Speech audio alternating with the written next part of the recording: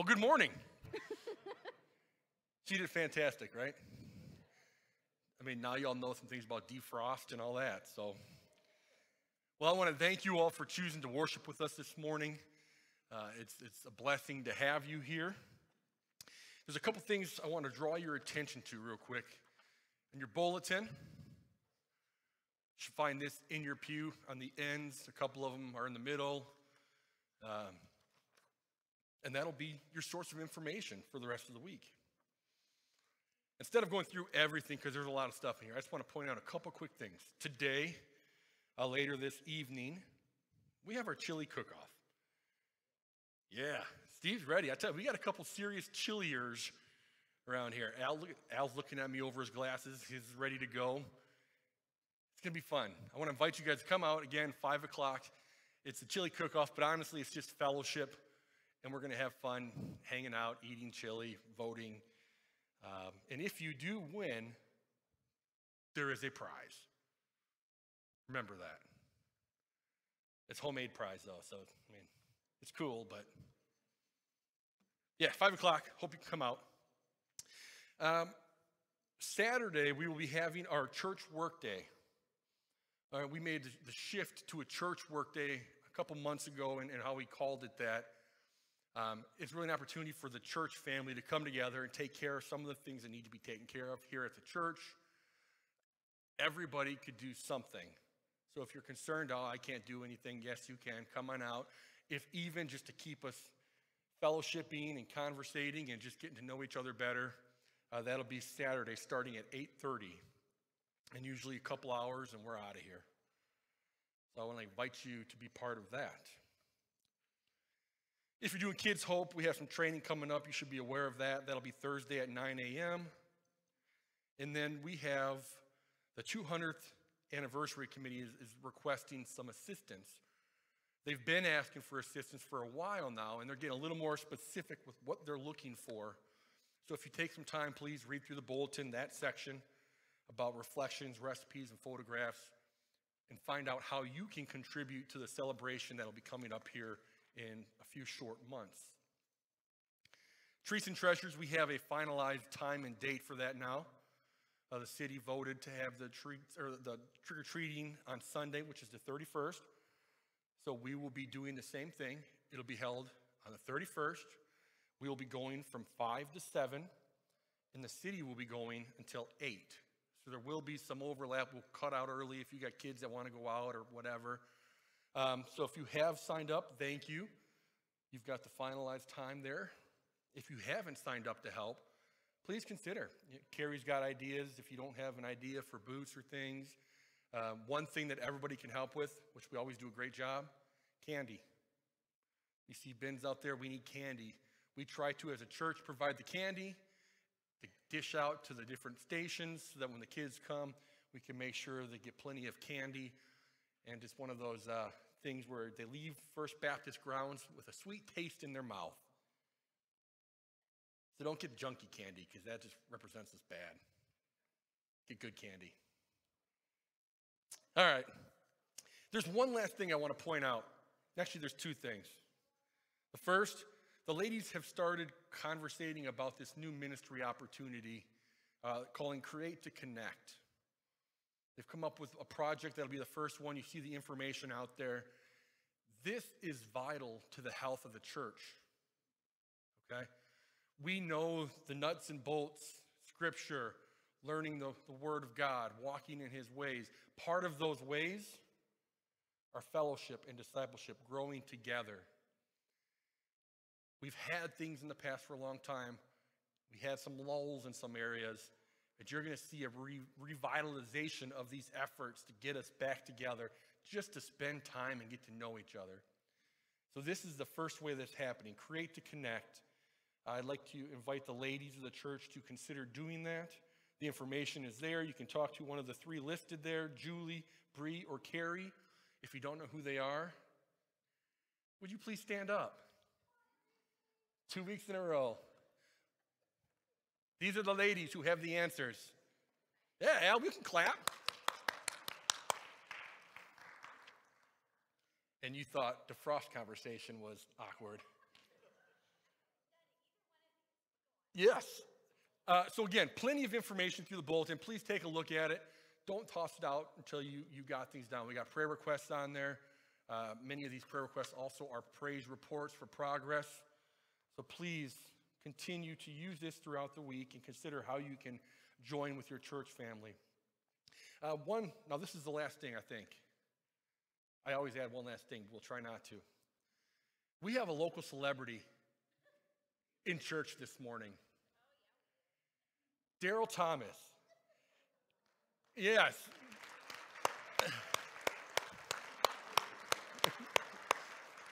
so, so Daryl, and he, he downplays it because that's just how he is.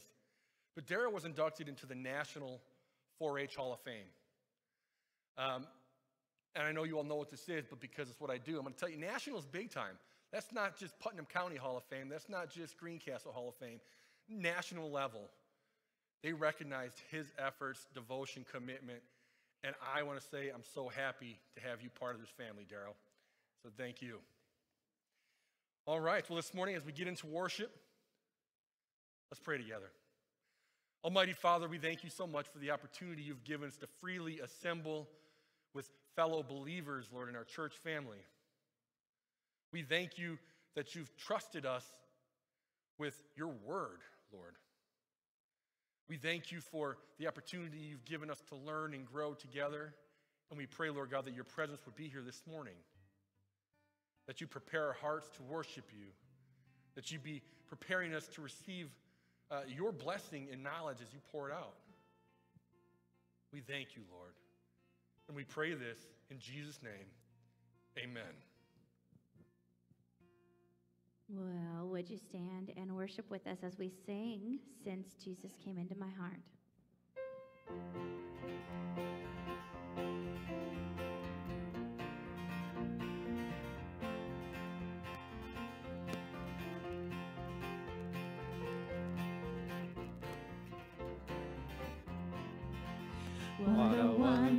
Wonderful change in my life has been wrought since you came into my heart.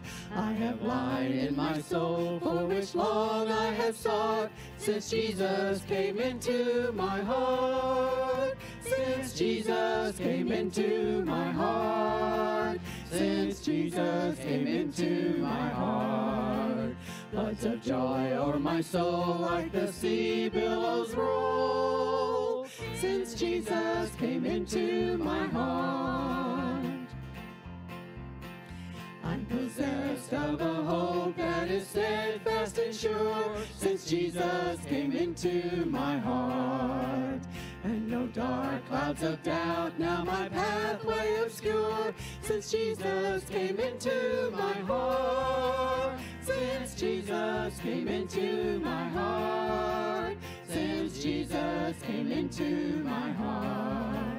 Floods of joy on my soul like the sea billows roll. Since Jesus came into my heart. There's a light in the valley of death now for me. Since Jesus came into my heart. And the gates of the city beyond I can see. Since Jesus came into my heart. Since Jesus came into my heart. Since Jesus came into my heart. Floods of joy o'er my soul like the sea billows roll. Since Jesus came into my heart. Shall go there to dwell in that city I know, since Jesus came into my heart.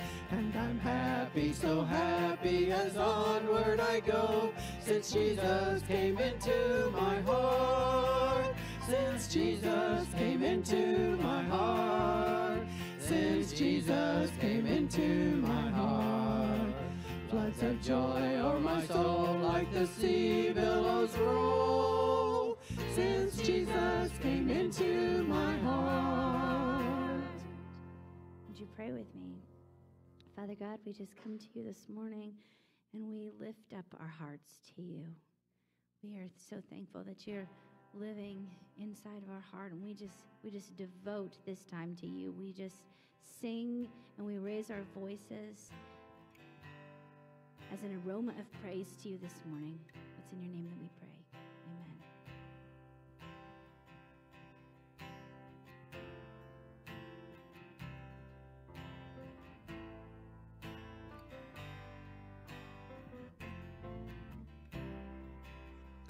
Let the king of my heart be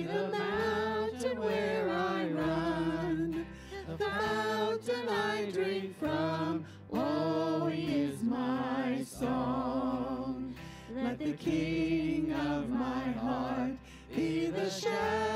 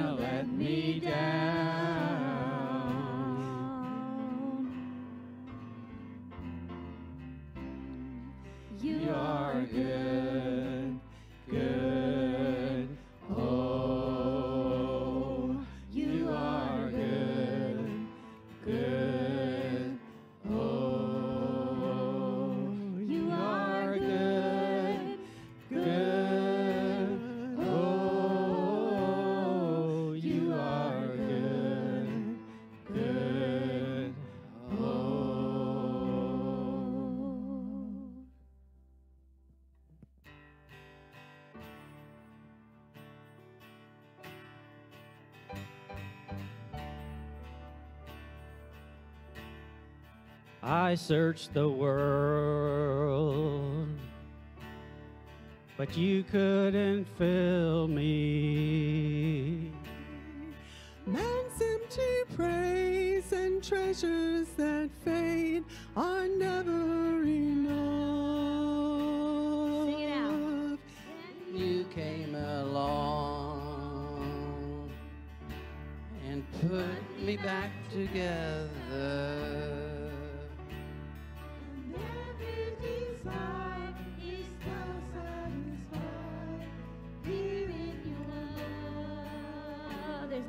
better than you, Jesus.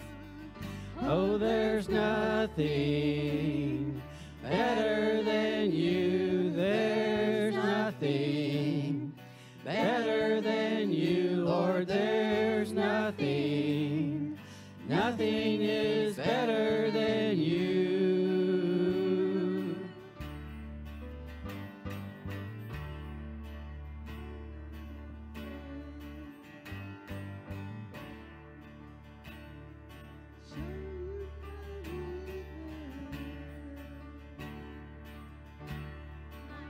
And flaws, Lord, you've seen them all, and you still call me friend. Cause the God of the mountain is the God of the valley. And there's not a place your mercy and grace won't find me again. Oh, there's nothing better than you. There's nothing better than you, Lord. There's nothing, nothing is better than you.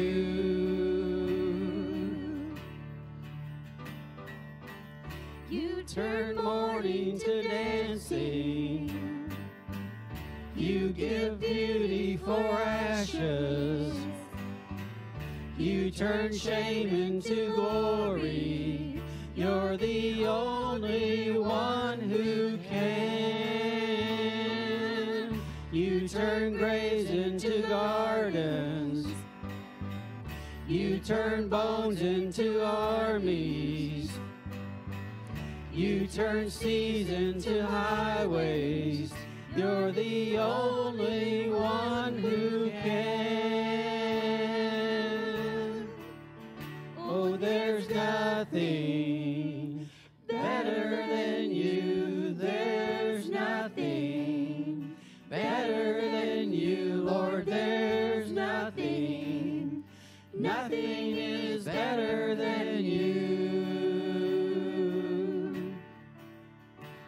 there's nothing better than you. There's nothing better than you, Lord. There's nothing. Nothing is better than you.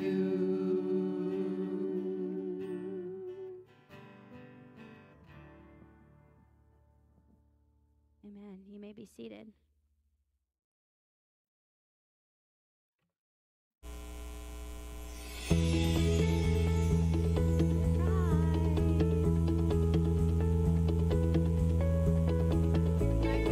Appreciate Pastor Tom because he's always been consistent with making sure our youth is getting supported and coming to church and just feeling like they are part of the church. So I was pretending to be superhero pastor.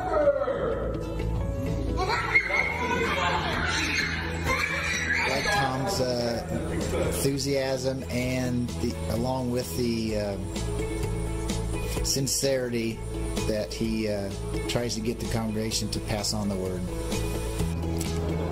When I was uh, in the hospital and nursing home last spring, Pastor Tom took the time to call me more than once, and because of his concern for me, that led me to start attending the church again and actually become a full-fledged member, and I really appreciate Tom.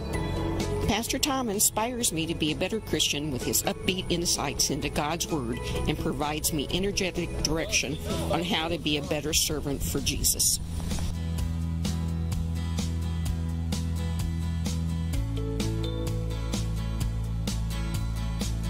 Tom, we appreciate you for your forward thinking and for your vision for our church, and we are excited to see what the coming year brings.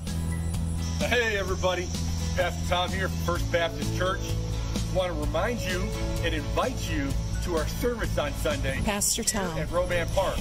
you have meant so much to our We're going to family, be out here Sunday morning. And we supposed to be appreciate you so much. Supposed to be nice. I've never seen a pastor Normal whose heart is just so of full shade, of wanting sunshine. to save We're gonna have those who are lost. off the side where they'll be doing crafts Um, You are just things full of the Holy It's gonna be a great Spirit time.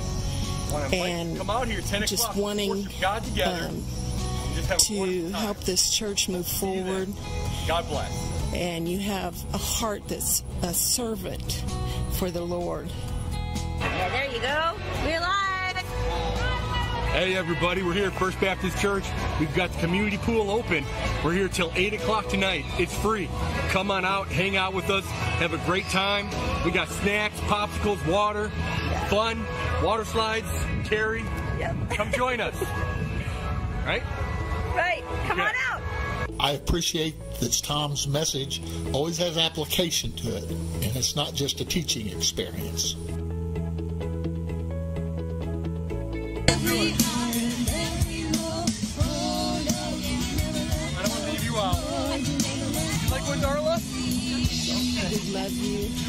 And um, we'll continue to pray that uh, you are filled with the Holy Spirit and to help save the lost that come into our church. We appreciate you so much.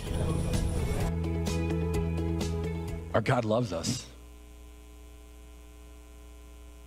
He's good.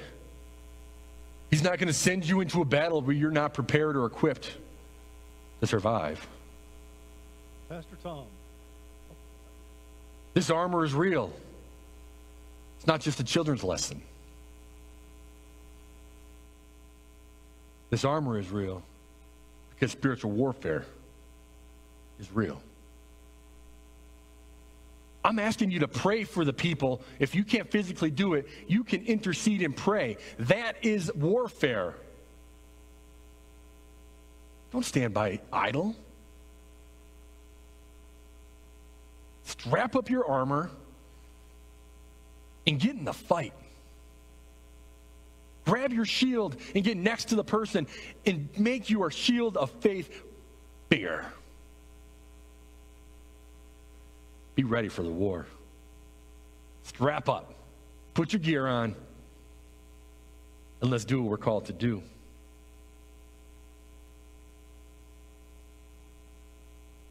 Pastor Tom. Now they're ready for it. If the leadership team will join me up front. We're Appreciate it, Pastor. Hands on. So, anybody that would like to come forward and feel comfortable coming forward and join us. You know, I, there's nothing we can say that exemplified what we just saw better than what was just said. Tom has comforted us, healed us, and helped us. He walked along beside us. Uh, and because of that, we rejoice in this opportunity of fellowship and being able to uh, enjoy pastor appreciation because we truly, earnestly do appreciate. Uh, so many times we don't say it, but we feel it in our hearts. So we thank you for that. If we shall.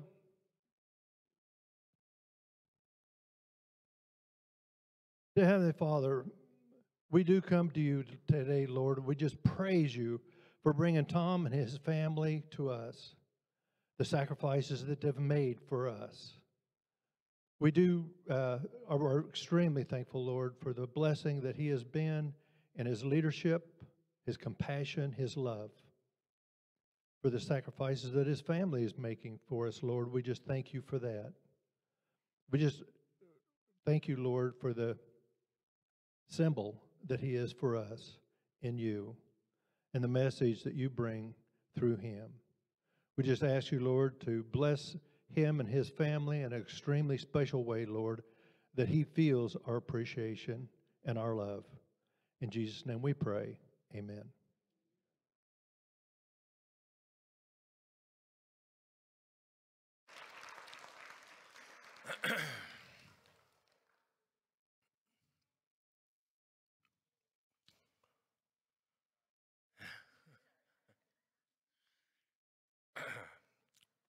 Thank you. Uh, yeah. Well, this is uh, the point in our service where we invite our children uh, to head back to our FBC Kids Church. You'll see some of our adult leaders with their First Baptist shirts on. You want to send the kids with them, they'll head back for the children's lesson and snacks and games and get a Bible lesson. Uh, I want to touch on that real quick here.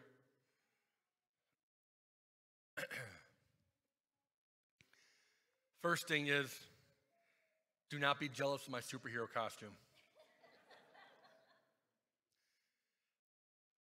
But in all seriousness, I love you guys. Uh, I truly try to articulate how much I appreciate all of you.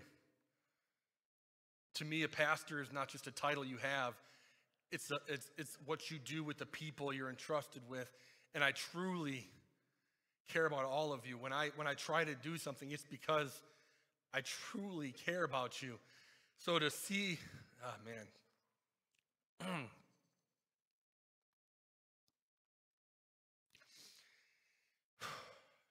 to see that it's recognized, that you guys see that I care is important to me because I've shared many times, and Dee Dee hates this term, so I'm going to say it one last time. I used to be emotionally constipated. The Marine Corps spent eight years of my life helping me break the connection to my emotions so I could be more effective in what I had to do. And it was a prayer of mine for years that I would get fixed, that God would make my heart soft again, that I could experience emotions besides anger and frustration. And He has and continues to do that, and He's using all of you, and I am so thankful for each one of you. Thank you very much for that encouragement. Uh, I wish I could explain better, but thank you very much. You are all an incredible blessing to me and my family. And we are so happy to be here. So thank you.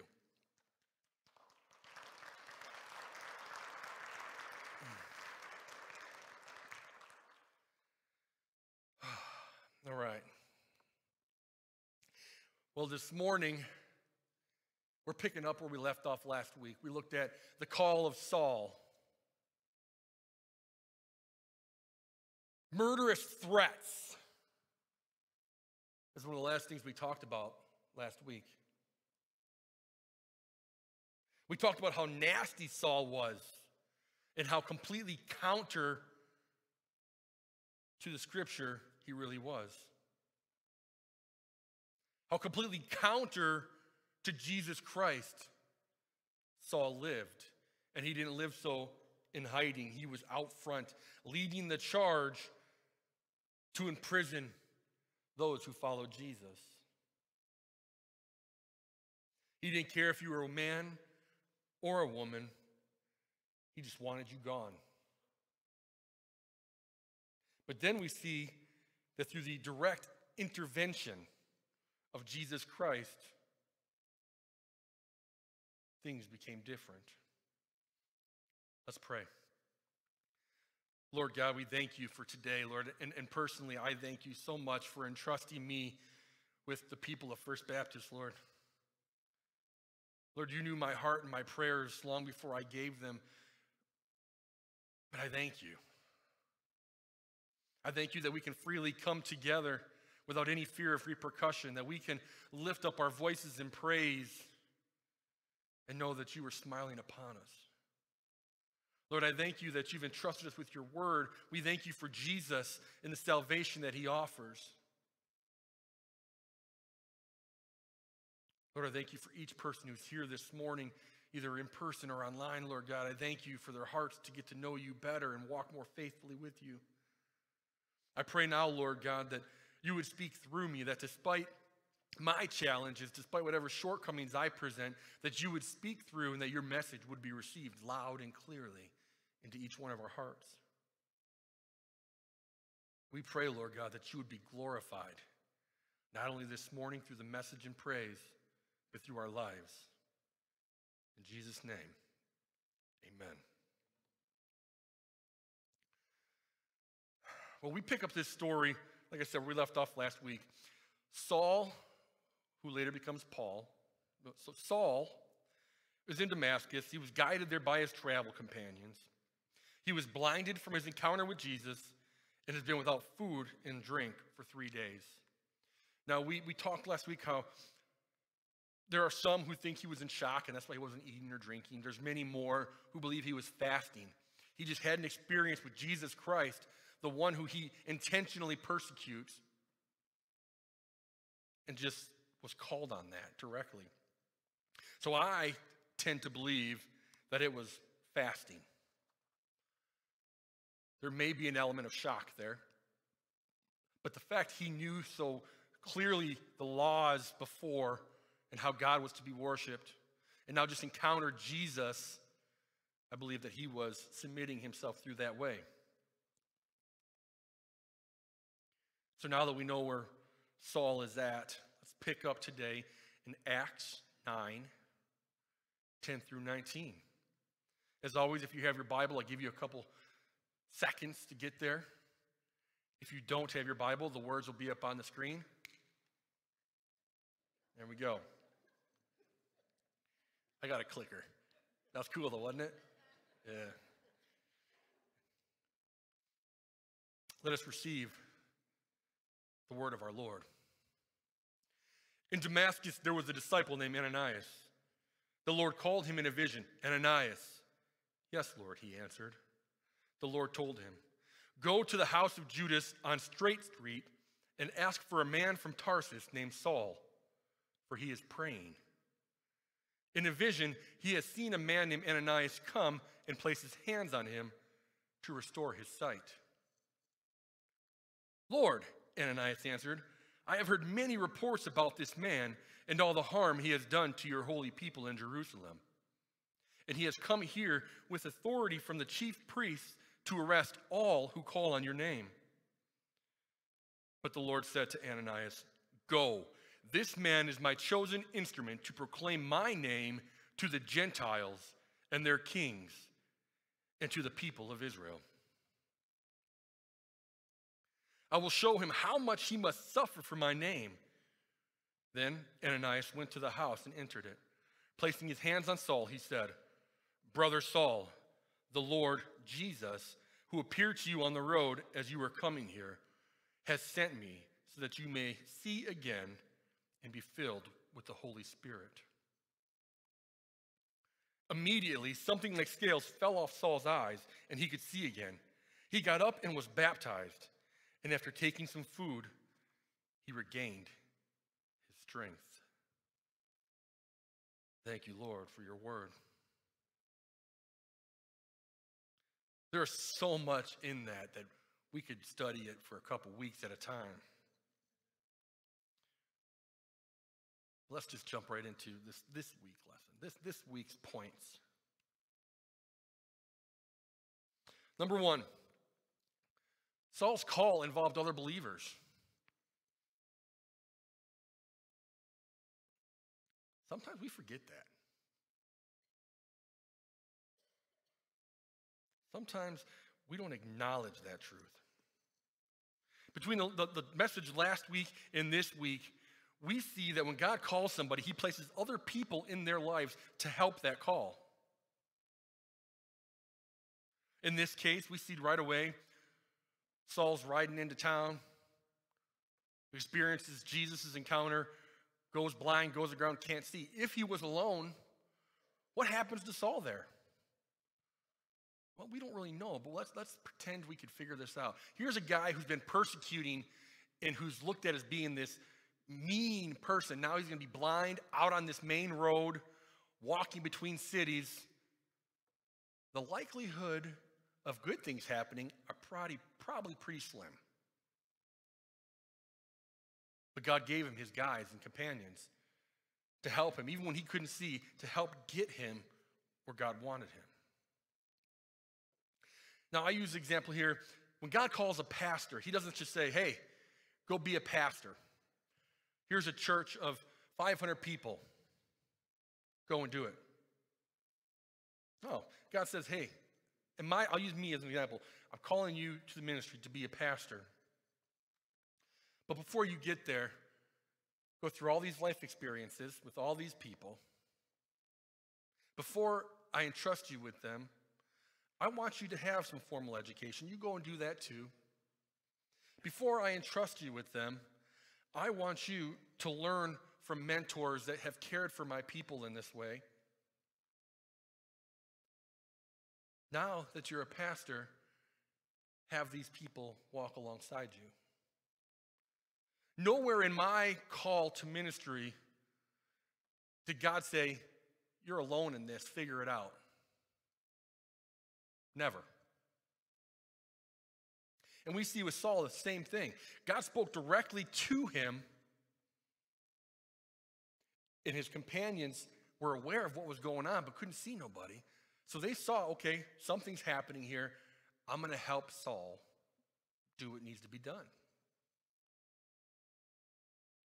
How many of you have ever heard a believer, or even someone who's not really a believer, say something along the lines of, My relationship with God is between him and I?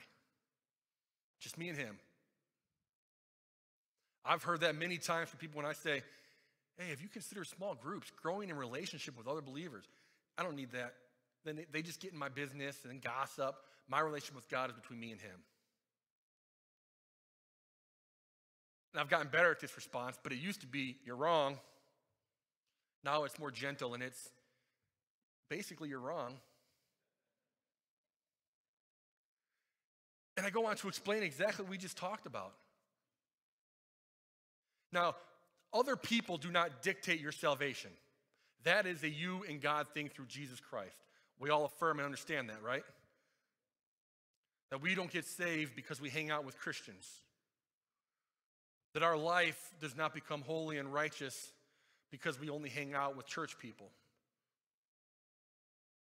All that is from God through the Holy Spirit, our pursuit.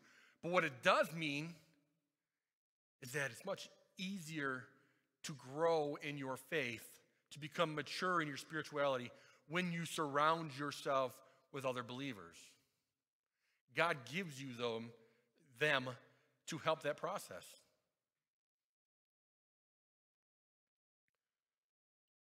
Let me ask you, this is kind of a silly question, but I'm hopefully it'll come through okay. Would I still be a pastor if I didn't have a church family to pastor?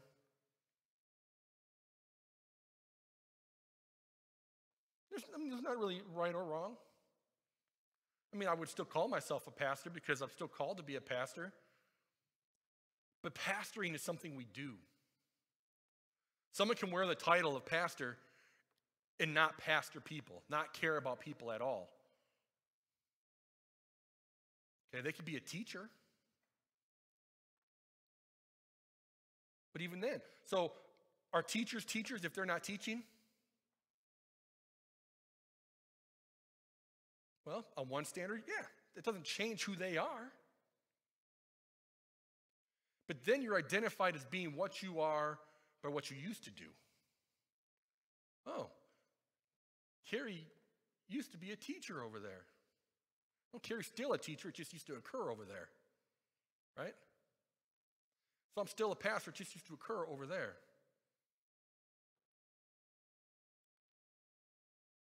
But when we got people, it becomes what we're doing.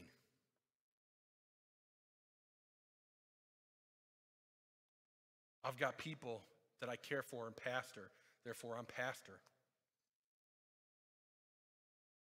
Saul was a, a, persecutor and he was surrounded by other persecutors, and they knew him as such.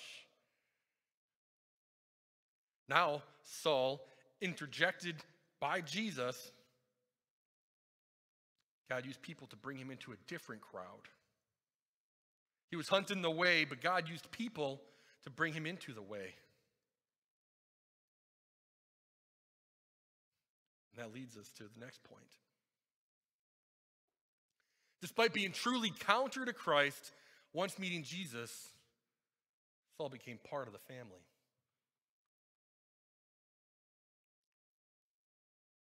That goes back to point number one. If I accept Jesus Christ as my Lord and Savior, and I say, I'm still going to hang out with this biker gang who gets their jollies from beating up people and stealing candy from children, it's going to be very difficult for me to live a righteous life and glorify God through my life, right? Would we agree or no? I see a couple heads shake. I've shared this before and I'll share it now.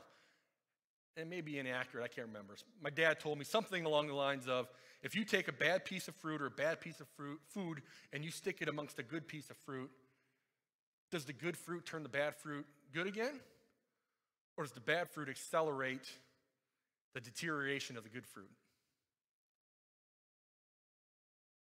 In case you're confused, the bad fruit wins.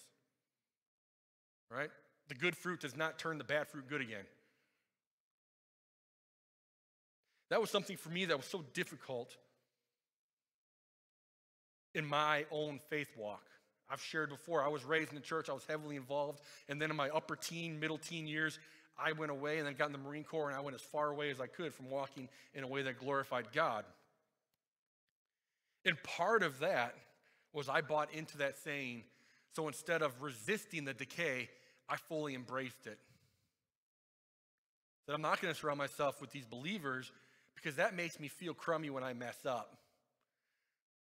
If I surround myself with these delinquents, then even if I only mess up a little bit, I still look okay. So even though I did it wrong, I still recognized the concept of needing people.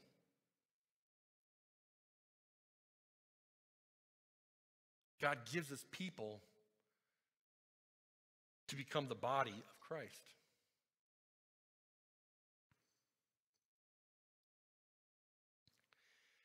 As Ananias went and met Saul in this place,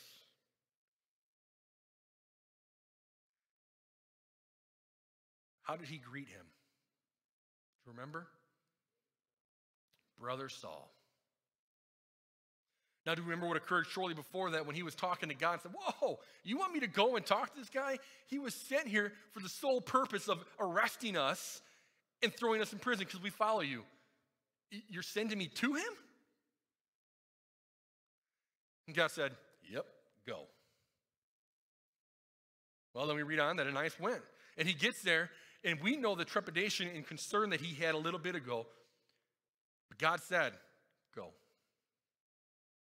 And he went. And simply because God said he is one of mine, he became one of his. God told him, This is my child. I don't care what he's done over here. You don't worry about that. He's mine. Go to him and help him follow me. I got big plans for that guy. And he did. And he went and, and brother Saul. Now, there's some people, some commentaries, some theologians that think that this was just a greeting because they were both Jewish. My response to that is if we reduce what God says and how this plays out to a simple greeting, it would have been just like any other greeting in Scripture. There wouldn't have been a definition here, there wouldn't have been a defined response. It would have just said, Saul, I'm here. No, no, no. God saw fit to put in there, brother.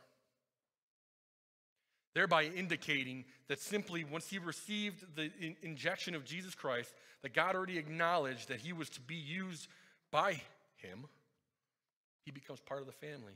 And Ananias brought him in. Folks, that's how we're supposed to be. That's how we're supposed to be. I've said this before. If you would have met me in my early 20s, you probably would have locked the door. You probably would have said, This guy looks like he's bad news. You know, like, that's why I'm glad we let Scott in, because he's kind of the same.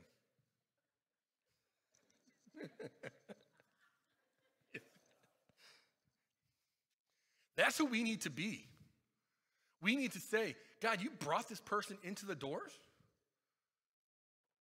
Welcome, brother. Now, obviously, us welcoming them as brothers or sisters does not mean they're saved. But what it means is we're open to the fact God brought you here to receive his truth. And in faith, we are praying that you come to the saving knowledge of Jesus Christ where you can truly be our brother and sister in Christ.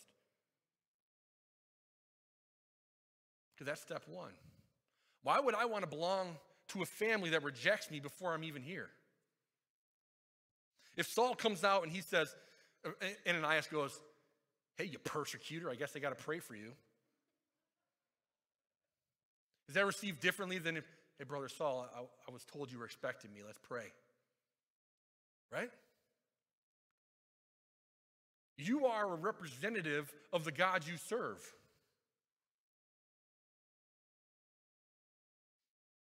The people you interact with, the people who walk through these doors, the people you meet at Walmart, there will be a time where you will be associated to the God you serve. And they'll say, Man, I met them at Walmart and they were super awesome. I didn't know you went to church here. That makes sense. Or, man, I saw them at Walmart. They were crashing into my ankles with their car, telling me to move. They were really a jerk. They go to church here? You see that? How Ananias responded reflects God and his relationship with him. Reflect on your own relationship right now and how you interact with the people around you. God's going to keep putting them there. We saw that point one. God uses people. Body is many parts. You can't have a body that's just a giant thumb.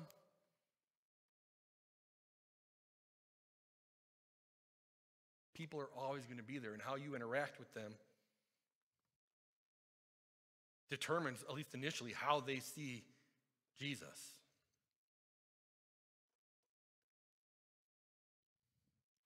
I've kind of beat this point, but I'm going to touch on it one more time. This is a place, this building, this sanctuary is just a room. It is, it's just a room. This building is just a building.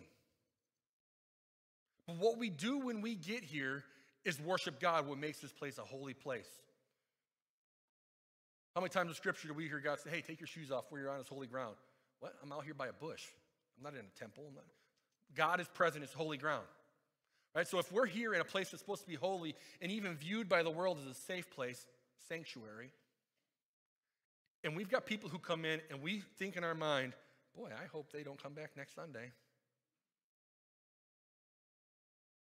Are we doing what we're supposed to be doing? Nope. Now listen, do not raise your hand. Again, not. How many of you have thought like that before?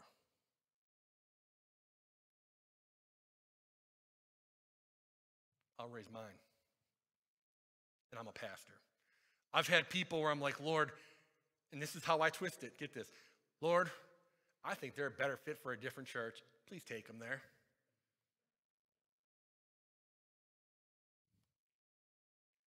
And then I usually get smacked. And God says, You know how many pastors probably said that about you, bonehead? Did you go where I go, where I send you? They go where I send them. You receive and you love them. And I am so glad that God has brought me through that. Because when I was younger and I just returned to my commitment to Christ and I was walking through different leadership things, I used to think that way. I had an acquaintance who was uh, addicted to drugs. And he would come to church, and he we'd sent him, as a church, we had sent him to rehab two or three different times for months at a time. And every time he would come back and be good for a month or two, and then he would leave his family again to go and get high and then not come home for weeks. And so our church family, the men would step up and mow the lawn and help the, the wife take care of the kids. And every time he'd come back and he'd come up to me, it took, I'm getting goosebumps right now. It took every ounce of energy I had not to lay into this guy in absolute anger. Like, why are you here? You're making a mockery of God's grace, which Ananias, or Ananias could have done, but he didn't. And God brought me through this with this individual to a place where I said, I'm going to pray for you as much as I possibly can. You call me when you need me. But until you can take this serious, don't pretend to take it serious because you are destroying your family. So I was able to give him truth while still loving the way Christ did. And Ananias did exactly the same thing here. He didn't pretend that he wasn't nervous or that Saul did no wrong, but he welcomed him into the family because God said, He's going to be part of my family. Ananias went over his own understanding and was obedient. And let's see what happens with that obedience.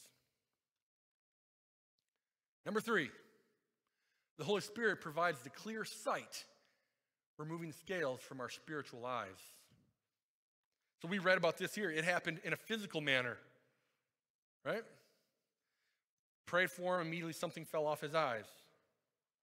In the Moody Bible commentary, there's a parallel here between Saul's physical blindness and spiritual blindness. He knew all the traditional ways, he knew all the laws, he knew the way God should be worshiped based on the laws. As we talked about last week, because he held on to those traditions in ways it used to be, he missed the way Jesus Christ was working in the present. Well, Jesus interjected in, made him physically blind, but spiritually able to see.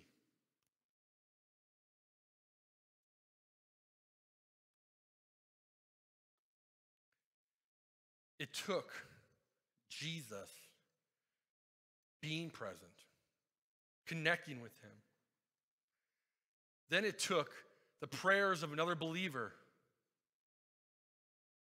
for those scales to come off. Did you catch that as we read the passage? That they didn't just fall off. God sent another believer to interject into his life, to support him, to care for him, to pray for him. And upon praying for him, something like scales fell from his eyes. Once he did, he could see. What did he do once he could see? He was baptized.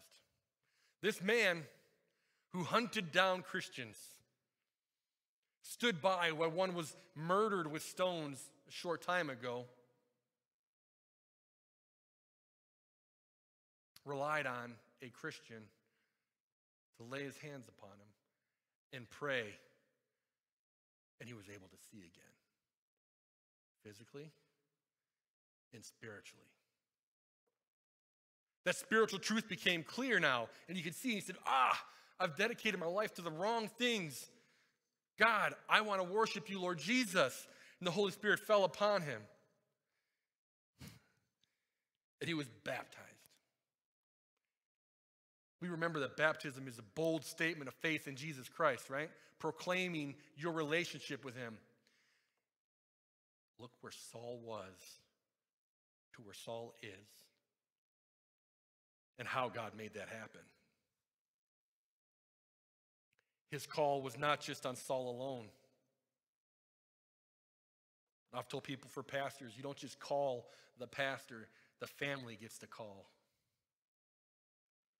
When you call a pastor and his family, the entire church is called to support that pastor and family in doing the mission of Christ.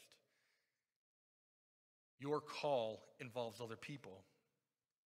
Those other people will help you get to where you need to be in obedience to God.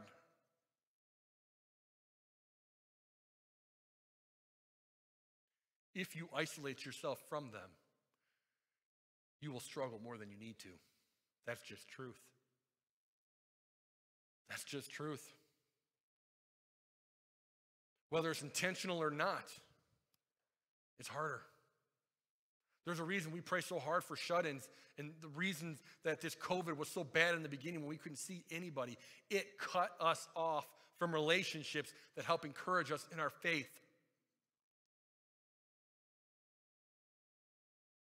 So, y'all come to church Sunday morning and you got friends here. How many of you hang out with each other outside of church?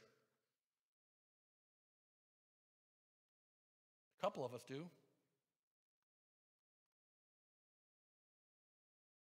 Friends, we need more than Sunday morning. We need family. We need spiritual family time. There's a reason it was organized in the past where you'd have Sunday morning, Sunday night, Wednesday, and then you do other things with your church family because we need those believers around us more than once a week. We need relationships that encourage us to be who we're supposed to be, to fulfill whatever call is on our life.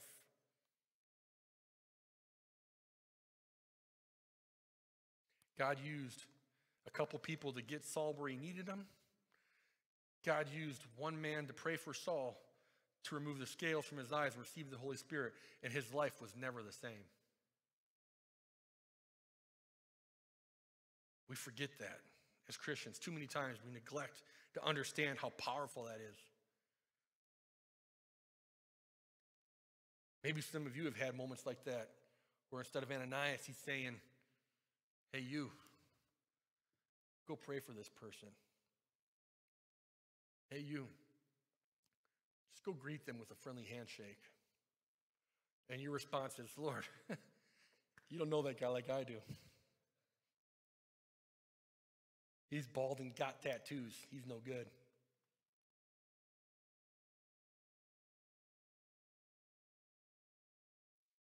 I pray right now that if you've had those moments, that you would recognize them and learn from them. That you would seek to be like Ananias. And it's okay to be scared, to, to be concerned. Walk in obedience anyway. Because you have no idea if God's using you to prepare the next Saul. You have no idea if the person that he sends you to pray for is going to be next Billy Graham. Just waiting for somebody to lay their hands upon him so that their spiritual scales can be removed and they can see clearly and dedicate themselves to the call.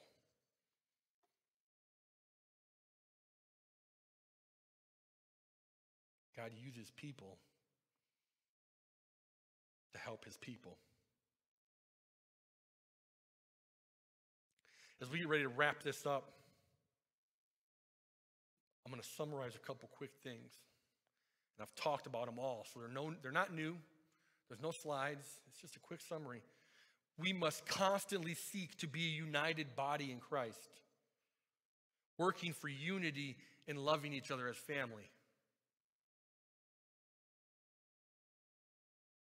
If we're only together on Sundays and then we spread out and try to come back together on Sundays and then spread out, there's a constant flux, right? Eventually, what happens is it starts to get so relaxed and loose that the tension doesn't bring us back anymore and we and we lose people. We need to care about each other daily. And I'm not saying we all got to hang out every single day, but be intentional about trying to connect beyond these walls with your church family.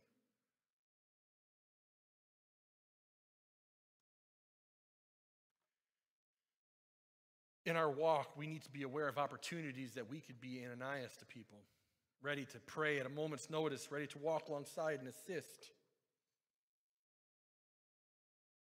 Our call does not isolate us from the world, it calls us into it to be God's hands and feet.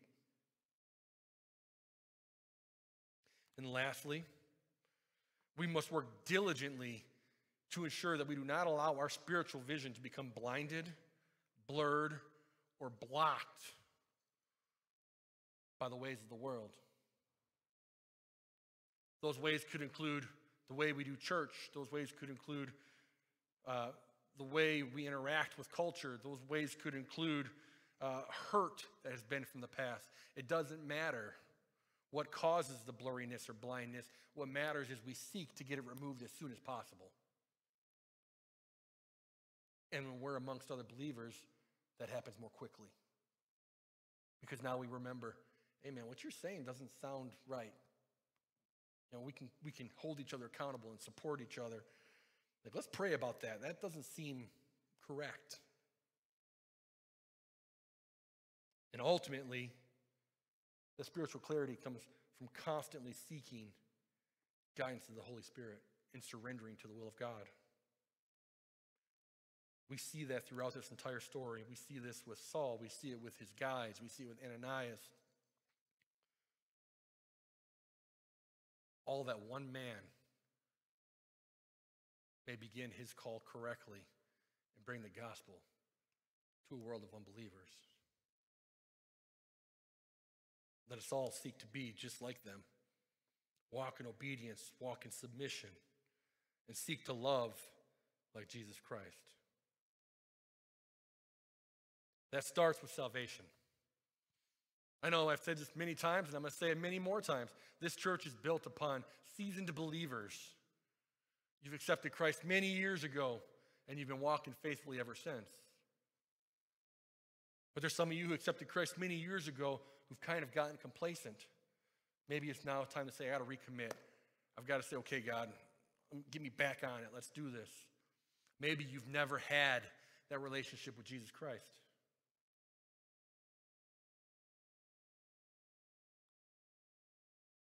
Today you can.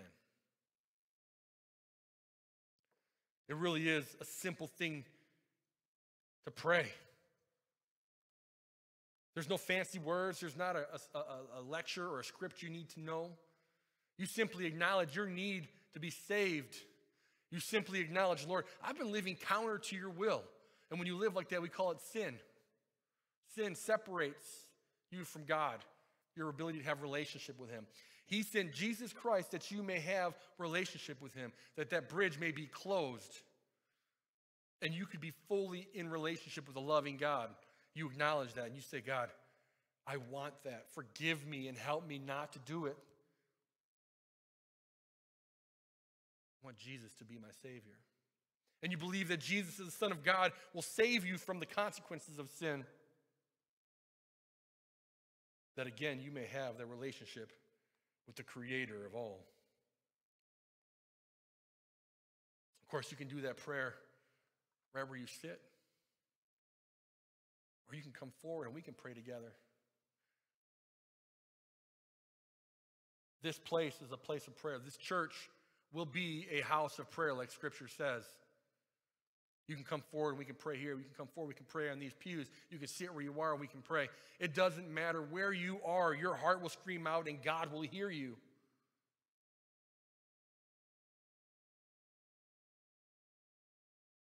And if you know Him as your Savior and you find yourself complacent and comfortable, I encourage your prayer right now would be Lord, fire me up. Help me my spiritual vision is getting a little blurry. I'm starting not to see how amazing you are. Help me see clearly, Lord, that I may do what you've called me to do and help others in their call as well. As we close in prayer for this message, you guys know by now that I'd like to pick something we pray for together as a body in this limited time we have together. And today, we're going back to, unfortunately, old reliable Haiti. So we've been praying for Haiti and just the absolute torment that's been going on. I just read a story this morning 17 missionaries were kidnapped.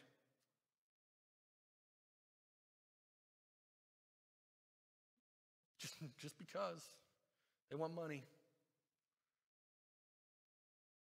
That place is so dark right now. I've got a friend who's a, a Haitian missionary here in the States right now, and we're talking about getting him here, and we talked last week, and he just he just laid it out how dark it is there right now. And for those of you who don't know, Haiti's been dark for a long time, but right now, it's real bad. They are in need of Jesus Christ, provisions in the physical, healing and protection in the spiritual. And many of them don't know Christ.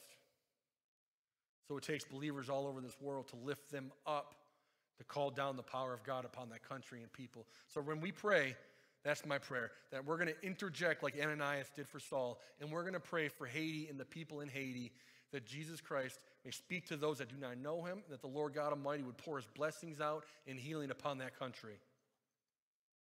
With that said, let's pray together.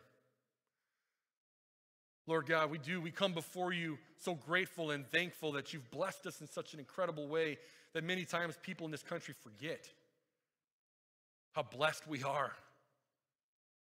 So we thank you for that, Lord God, and we thank you for the truth of your word to help us see that this knowledge is nothing without practical application. We can know what the word says, but if we don't do it, we're worse. So we pray right now, Lord God, like Ananias did for Saul.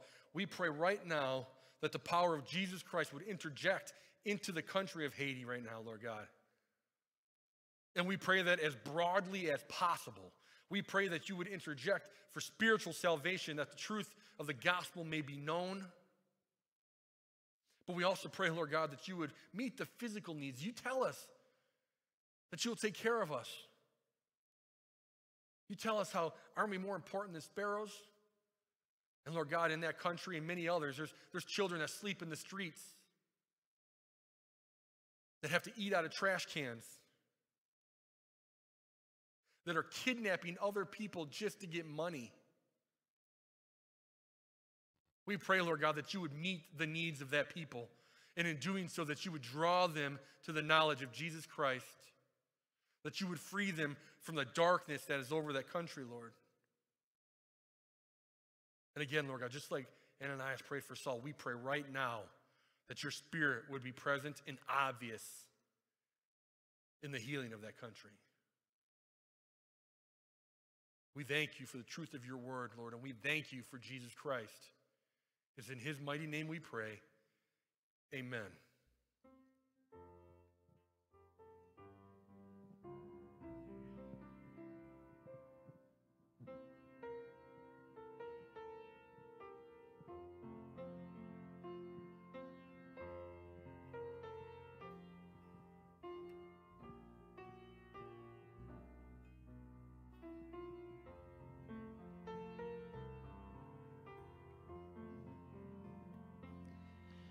There's room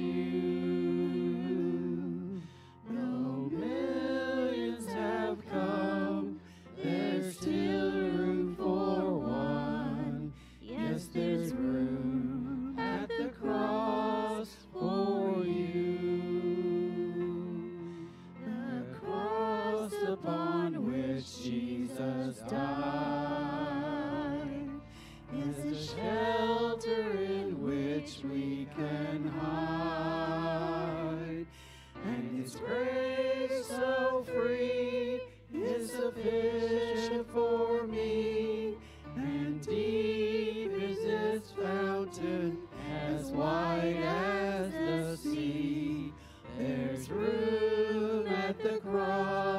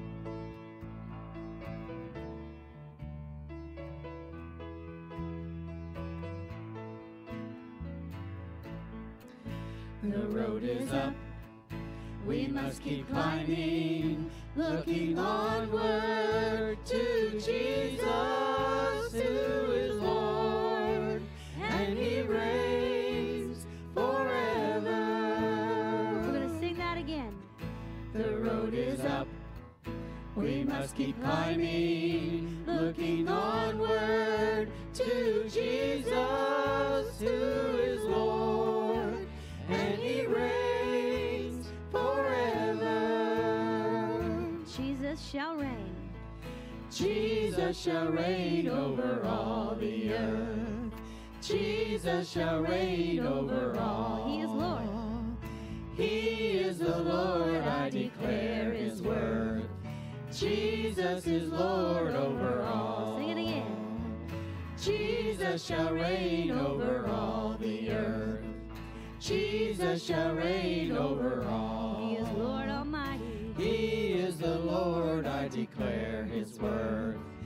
Jesus is Lord over all. The road is up. The road is up. We must keep climbing, looking onward to Jesus, who is Lord, and he reigns forever. The road is up. We must keep climbing, looking onward to Jesus, who is Lord, and he reigns forever.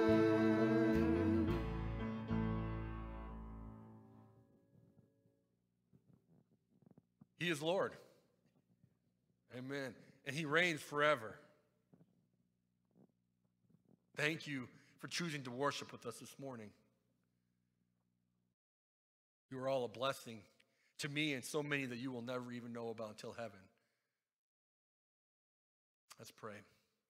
Lord God, I thank you for each person here today. I thank you for raining your presence upon us. We pray now, Lord God, that you would have filled us full and send us out into this world that we may love and care for these people. Use us, Lord, for your glory, for the advancement of the kingdom of God. Thank you for trusting us with that. We love you, Lord, and thank you. In Jesus' name, amen.